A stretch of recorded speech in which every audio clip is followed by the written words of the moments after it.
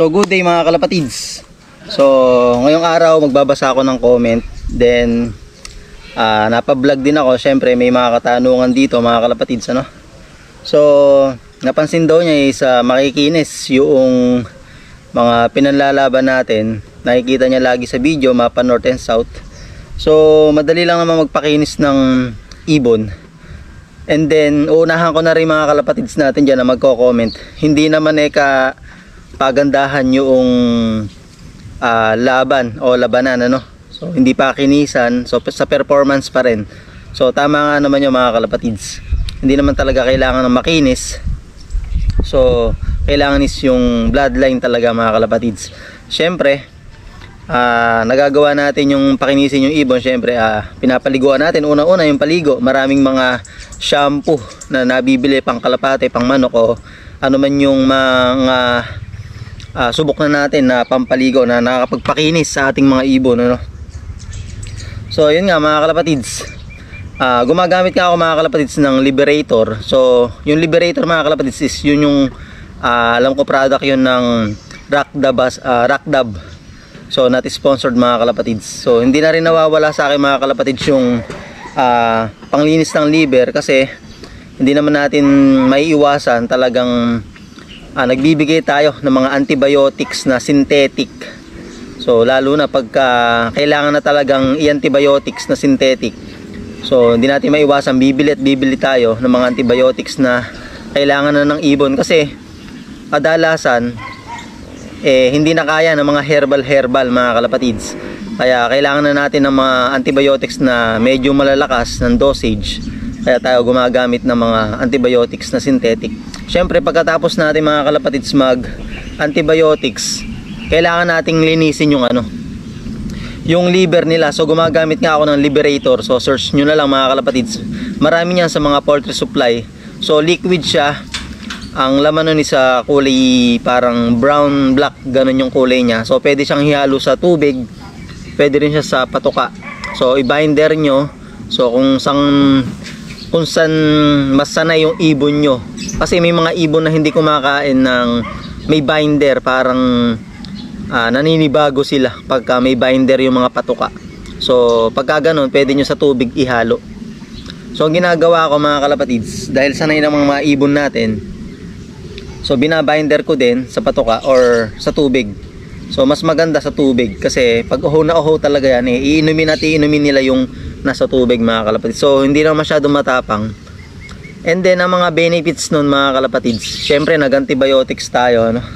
Yung mga toxin na galing sa antibiotics. So mapaplush niya doon sa Liberator mga kalapatid. So ang gamit ko nga ngayon is uh, not sponsored din, Metacol ni Joston. Ayan mga kalapatids kung makikita nyo. Ayan o. Oh. Metacol. So gumagamit ako nito is 3 uh, days pag derby gumagamit ako nito 3 days. Uh, tinitira ko siya pagka Monday. Oh, lunes, martes, merkules. Ayan mga kalapatids then sa hapon ang binibigay ko na lang sa plain water plain patuka. Basta sa umaga to mga kalapatids.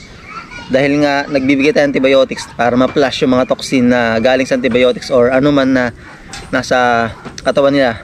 Magandang benefits nito mga kalapatids dahil hindi lang naman yung uh, liver yung napoprotektahan. So yun nga, ayon dun sa comment na sa YouTube natin is uh, ang kikinis daw ng mga ibon natin. So dahil yun mga kalapatids din dito sa uh, Liberator. So kasama yung health healthy feather niya mga kalapatids dito sa Liberator. So nasasama siya kaya makinis and then mabilis siyang magpulbos. Makikita nyo napakakintab ng ganito. Ang una-una nyo makikita pagka nakapagbigay kayo ng at least uh, ah, 7 days or 3 days, 4 days, 5 days. Ako kasi 3 days. Pagka yung malayo pa yung karera, nagbibigay ako ng 7 days mga kalapatids. So una nyo makikita dyan yung pulbos ng ilong and then sa pakpak yung pulbos niya talaga makikita nyo at saka yung kintab dito makikita nyo yung sa leeg pag nasikatan ng araw o kahit hindi masikatan ng araw o kahit liwanag lang makikita nyo yung uh, kintab dito sa liig nila. Mapapansin niyo pag gumamit kayo ng Liberator mga kalapatids. So napakaganda nga niya mga kalapatids. Hindi na nawawala sa atin. And then ang mga benefits pa niya mga kalapatids is yung ah, pag-improve pa nga ng ano niya, ng liver function, mga kalapatids. So maraming benefits yung ah, na ibibigay ng Liberator mga kalapatids. So yung iba talaga eh hindi nag gumagamit o nagbibigay ng ganito. So puro ano lang sila plain.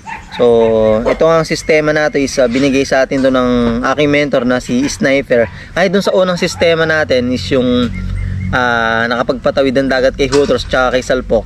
So ang gamit ko doon is ah, hindi pa Joston product.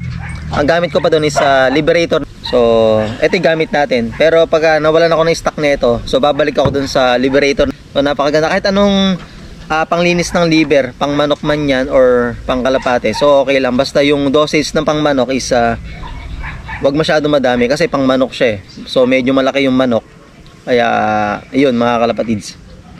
Then dyan nga kumikinis yung mga ibon natin, pulbos ng ilong, makikita nyo kintab ng mata.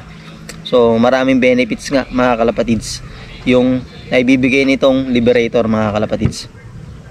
Ayun, so sinagot ko lang din yung ah, comment ng ating kalapatids kasi lagi daw siya nanonood sa atin. Ang kikinis daw ng mga ibon. So ito example nito mga kalapatids. Kunin natin tong isang ibon. Ay, nagwawala pa mga kalapatids. Yep. Ah. So breeder to mga kalapatids pero binibigyan ko rin siya ng ano liberator. Lalo na pag nagsasalang din ako mga kalapatids. Tinitira ko sila ng 3 days ng ah, panglinis ng liver. So kung mapapansin nyo tong ibon, makinis siya.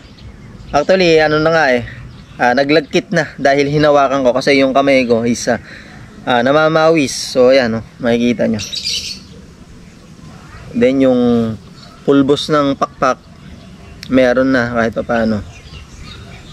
Ayan. Ito yung sinasabi ko mga kalapatids, yung kintab sa dibdib sa leeg. Ayan, kung makikita nyo yun. Ayan, yung sinasabi ko. Pag gumamit kayo ng liberator, so hindi lang sa liver ang epekto niya, pati dun sa mga balahibo at sa pakpak. So, nagiging maganda, malusog. Yung balahibo, yung pakpak. Ayan, yung kintab na yan ang sinasabi ko kanina. Na nasa leeg. So, ayan. Yun lang mga kalapatids. Para kuminis yung ibon. And then, may mga sistema rin yung ah, iba't iba nating kalapatid. So, itong ah, sinasabi ko ngayon sa sistema ko at na gawa natin, na pagdaanan natin sa ilang ah, season natin na naglalaro sa club. And then dito sa Nueva Ecija talaga mga kalapatids is ah, napakaganda ng papremyuhan na rin mga kalapatids talagang sa bagong club namin is ah, umaabot na ng 3 milyon yung papremyo South Race. So may release na sila ng ah, ring. Yan dalawang club na yan is ah, JPRC at saka Sealer PC. So talagang nagpapaligsahan sa papremyo